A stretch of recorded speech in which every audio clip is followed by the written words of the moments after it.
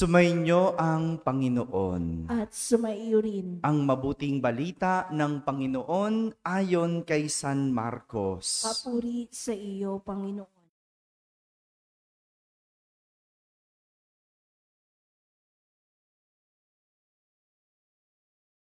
Noong panahong iyon, muling nagturo si Jesus sa tabi ng lawa ng Galilea.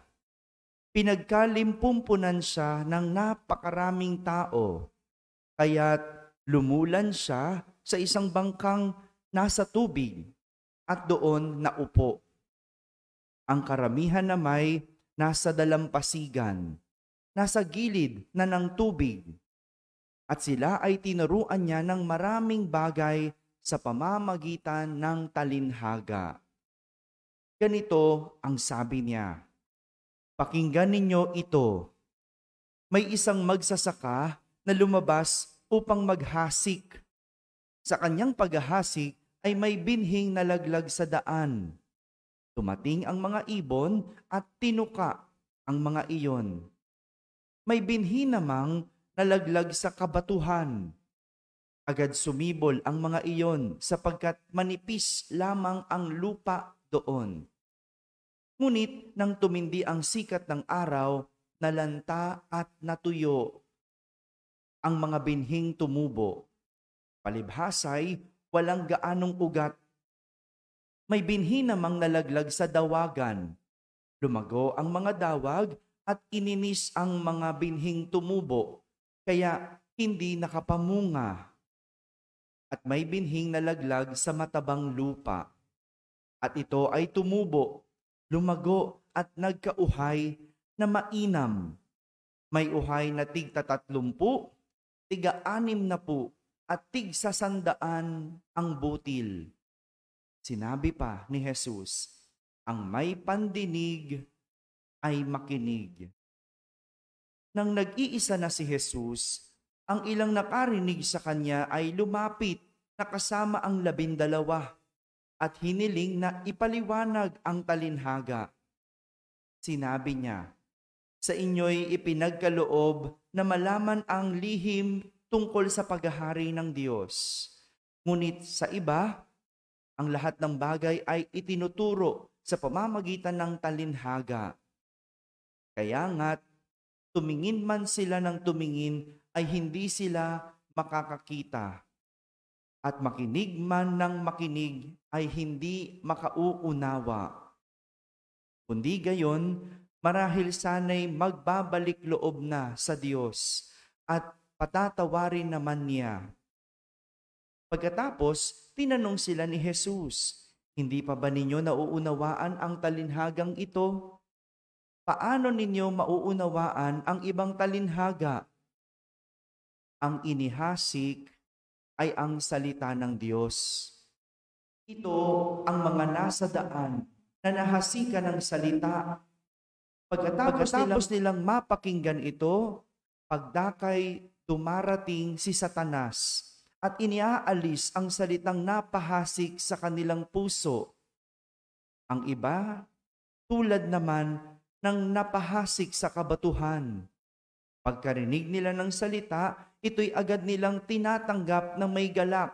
Ngunit hindi naman ito tumitimo sa kanilang puso, kaya't hindi sila nananatili. Pagdating ng kahirapan o pag-uusig dahil sa salita, agad silang nanlalamig.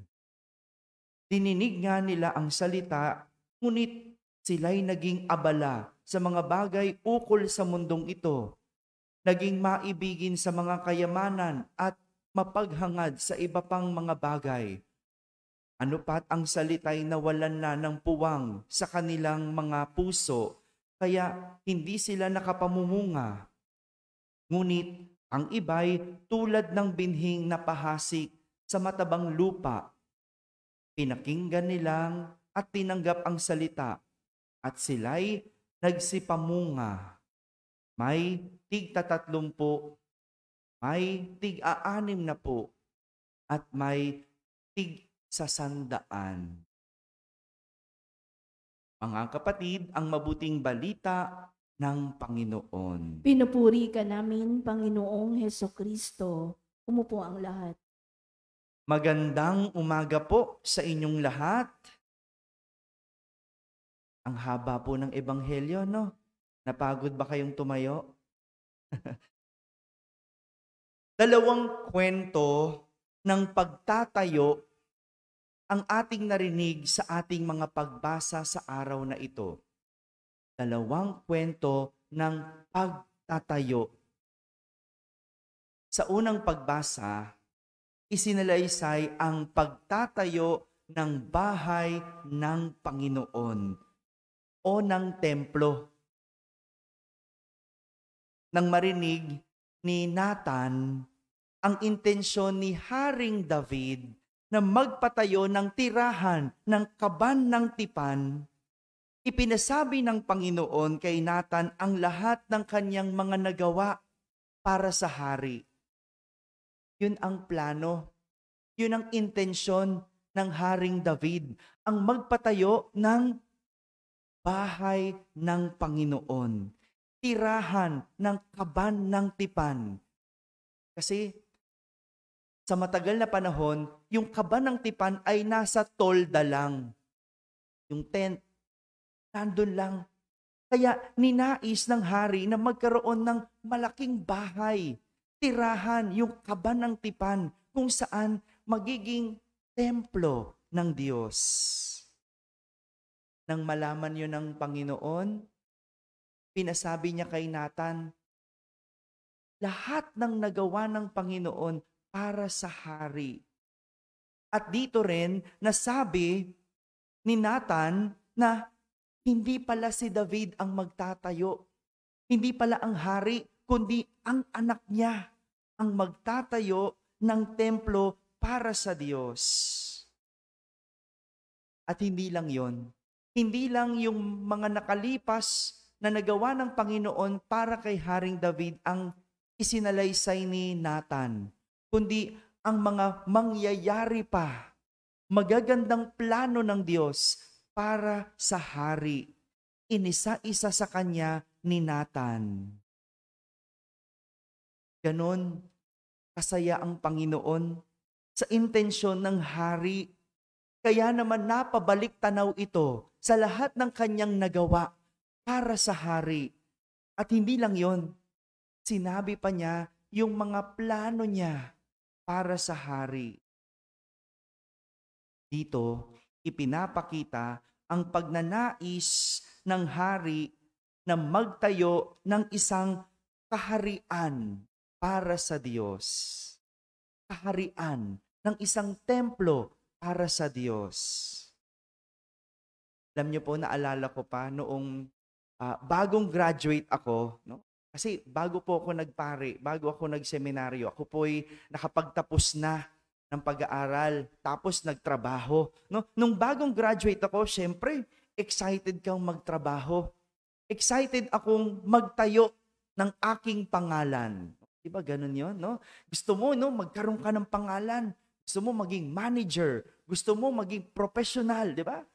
Excited ako na maitayo yung aking pangalan. Excited ako magkaroon ng magandang karera. Kaya naghanap agad ako ng trabaho. At nung may trabaho na ako, nung nahawakan ko yung unang sweldo ko, hindi ko malimutan at hindi ko parang nagbalik tanaw ako. Parang dati, estudyante lang ako.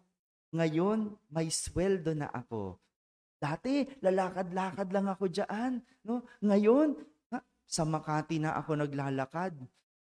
Dati, no, umaakyat lang ako nung, nung, nung eskwelahan namin. Ngayon, nag-elevator na ako. Di ba, di ba ganun yung sobrang saya mo? No? And I'm very sure, ganyan din. Ganyan din yung naramdaman ng mga nagtatayo ng bahay. Nung nagkaroon na sila ng bahay, dati, nangangarap lang tayo. Ngayon, may pinto na tayo. Dati, no, no uh, wala pa tayong kisame. No? Ngayon, may kisame na. Di ba ganun? No? Nung, nung, nung na, sobrang saya mo, no? napapabalik tanaw ka. At nababanggit mo pa yung mga pangarap mong gawin.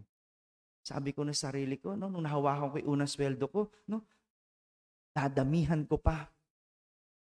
Gusto ko maraming pera, sisipagan ko pa, no? Napapasabi ka kasi ang dami mong pangarap, gusto mo makapamasyal, gusto mo magkaroon ng ganito, makabili ng ganyan. Di ba ganon?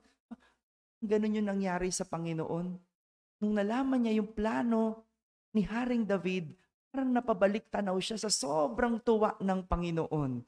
Dati tem ang templo ko, tolda lang. Ngayon, patatayuan ako ng malaking templo.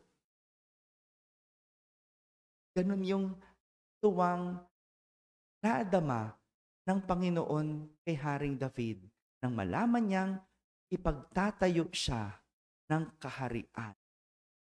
Templo. Samantala, sa ating ebanghelyo, kwento naman ng pagtatayo ng paghahari ng Diyos ang ating narinig sa pamamagitan ng talinhaga ng manghahasik. Para kay Jesus, ang paghahari ng Diyos ay parang binhi na itinatanim sa iba't ibang klase ng lupa. Binhi na tumatayo sa salita ng Diyos na itinatanim. Sabi, may mga binhing sumisibol. May mga binhing itinanim sa iba't ibang klase ng lupa. May binhing itinanim sa matigas na lupa. May binhing itinanim sa mababaw na lupa o manipis na lupa, may binhing itinan, itinanim sa dawag o sa matabang lupa. At ang binhing tumubo lang sa lahat ng yon ay ang naitanim sa matabang lupa. Dito po, ipinapakita ang pagnanais naman ng ni Jesus na magtayo ng paghahari ng Diyos. Paghahari ng Diyos. Narinig, nakita niyo po yung pinagkaiba? Dalawang pagtatayo. Isang kaharian at isang pinaghaharian. Isang kaharian, pinaghaharian. Yung kaharian, yun yung bahay, istruktura, palasyo. Yung pinaghaharian, yun yung mga o. Oh, parang simbahan. Kahit anong ganda ng simbahan, pero kung ang mga mananampalataya, ang mga nagsisimba, ay mga pasaway, sumusuway sa Diyos, walang silbi ang ganda ng simbahan. Walang silbi, ang ganda, ang laki ng simbahan kung wala namang nagsisimba. Mabuti na lang, no? Yung simbahan natin, no? Simple lang, maliit, pero buhay na buhay ang mga nagsisimba. Ganito yung ipinapakita po sa atin. Ito yung nais ipahipatid sa atin ng ating mga pagbasa sa araw na ito dalawang pagtatayo na dapat hindi natin binabaliwala. Parang isang magandang kasal na pinagtutuunan at pinag-iipunan. Walang halaga yan kung ang pagsasama ay hindi magtatagal. Diyan tayo magaling, no? Magandang kasal, bonggang kasal. Pero isang taon lang hiwalay na. Hindi umabot ng limang taon. Ganun din, walang, ibang, walang iniwan yan sa isang bahay. Kahit anong ganda ng bahay, kahit anong laki ng bahay, kung hindi ito magiging tahanan, wala itong silbi. Di ba po? Madali magtayo ng bahay, pero ang mahirap itayo at itaguyod ang tahanan yung mga taong nakatira. Ganun din, walang iniwan no, sa simbahan. Pwedeng magpatayo si Father Douglas ng malaking simbahan. Oh, pwede. Oh, pwedeng pa-extend yan. Pero ang mahirap doon, yung mga nagsisimba, ano itataguyod? Yun ang dapat ginagawa Parang sa atin, no? Madali yung titulo, pangalan. Pero ang mahirap kung paano panatilihin ang pangalan. Yung pagiging doktor, pag natapos mo mag-aral, magiging doktor ka. Pero paano ka mananatiling mabuting doktor? Diba? Yung pagiging ina, madali. Kulat ka nga, eh, batang ina. Dalaga pa lang noon. Ngayon, ina na, nanay na. 18 lang, 17, nanay na. Pero anong mahirap? Yung pagiging ina. Yung yung yung pangalan ng pagiging ina. Ito yung pinapakita sa atin. Mga pagtatayo na dapat magkatuwang. Parang tayo, mga mananampalataya, madaling maging katoliko. Magpabinyag ka lang, katoliko ka na. Pero ang kailangan nating itaguyod ay ang pagiging mananampalataya. Yung linggo-linggo magsisimba, magdarasal, makikipagrelasyon sa Diyos, magro-rosaryo. Kapatid, ito po yung pinapakita sa atin ng ating mga pagbasa sa araw na ito.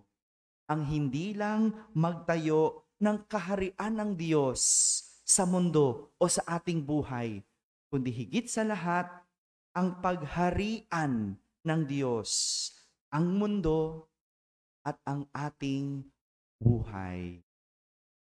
Amen? Amen.